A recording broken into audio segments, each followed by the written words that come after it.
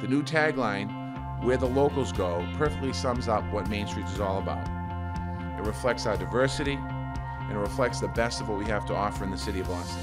The foundation was able, with this money, to successfully launch what we expect will be a multi-year marketing effort to take Boston Main Streets to a higher level. We're looking to say, how do we bring, how do we bring development to the neighborhoods? And what you're doing and what they're doing here is, is, is a huge statement to that piece. What Citizens is doing is showing a strong commitment to the city of Boston as well.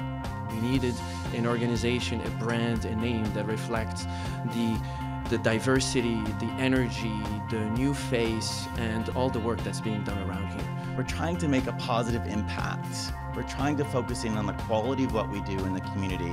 Um, and we think we could do something really impactful.